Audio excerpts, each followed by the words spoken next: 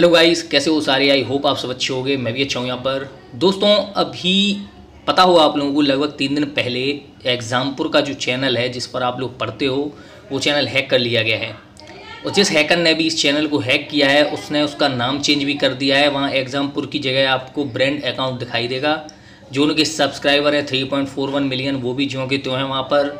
जिस हैकर ने से हैक किया उसने अभी तक चैनल को या वीडियोज़ को किसी तरह से हार्म नहीं किया है। लेकिन उसने जो भी किया है उसकी वजह से एग्जामपुर चैनल को दो कम्युनिटी गाइडलाइन भी मिली हुई हैं। हालाँकि देखो कम्युनिटी गाइडलाइन स्ट्राइक से कुछ नहीं होता है। आपको जो, ये जो स्ट्राइक होती हैं ये सिर्फ़ एक वार्निंग होती है यूट्यूब की तरफ़ से।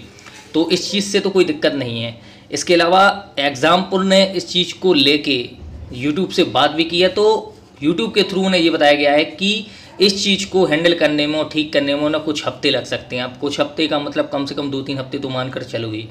जब तक ये प्रॉब्लम ठीक नहीं हो रही है, तब तक के लिए एग्जामपुर की सारी क्लासें उन्होंने अपने दूसरे चैनल एग्जामपुर डिफेंस वॉरियर पर शिफ्ट कर दिया। वहाँ पर सारी क्लासेस चलेंगी। तो आप वहाँ पर कंटिन्यू क्लास ले सकते हो। लेकिन उम्मीद ये करो कि ये चीज़ जल्दी से जल्दी ठीक हो जाए। इस चीज़ के बारे में एग्जामपुर की भी कंटिन्यू बात चल रही है। यूट्यूब से भी ये लोग कॉन्टैक्ट कर रहे हैं। और जितने भी लोग एग्जामपुर के सपोर्टर हैं, जो उस पर कंटिन्यू पढ़ते हैं क्लासेस लेते हैं, उन सबसे मैं एक रिक्वेस्ट करूँगा कि देखो आप किसी के अच्छे वक्त में काम आओ या ना हो लेकिन जब वक्त बुरा हो तो काम आना चाहिए। जिस टीचर से और जिस चैनल से आप इतने टाइम से पढ़ते आ रहे हो, आज उसको आपकी ज़रूरत है तो कॉमन सी बात है, आपको भी आगे आना चाहिए। आप लोग ट्वीट करो, जो विवेक सर ने बताया है कि ब्रिंग बैक एग्जामपुर को आप इसके हैशटैग के साथ यूज़ करो, कहाँ आपको करना है, आपको पता है, ठीक? सामने स्क्रीन पर दिया हुई है कि आपको कैसे इसे ट्वीट करना है, किस हैशटैग को यूज़ करना है तो कंटिन्यू इस चीज़ को लेकर ट्वीट करो। जितना आप एफर्ट लगाओगे, उतने जल्दी इस चीज़ को आप हैंडल करके ठीक करा सकते हो। देखो कंटिन्यू आप प्रिपरेशन करते चले जा रहे हो और अब धीरे धीरे एग्ज़ाम पास में आ रहे हैं। तो कॉमन सी बात है, ऐसे कैंडिडेट जिनके पास ज़्यादा पढ़ाई के साधन नहीं है, जो कंटिन्यू एग्ज़ाम से या किसी भी चैनल से क्लास लेते हो तो ये टाइम अब वही है, अब एग्ज़ाम आएँगे धीरे धीरे अगर अभी ऐसा होगा तो भाई आपकी तैयारी ख़राब होगी। तो इस चीज़ को लेके आप लोग थोड़े से सजग रहो यार जितना सपोर्ट हो सकता है करो। अब किसी को अगर ये लग रहा हो कि मैं यहाँ पर पैरवी कर रहा हूँ एग्ज़ामपुर की, ठीक?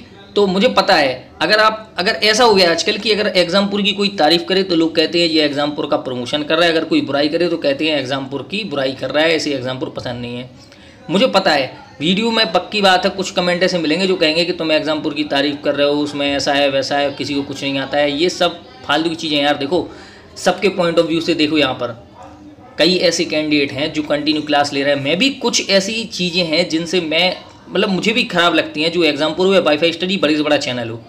ठीक?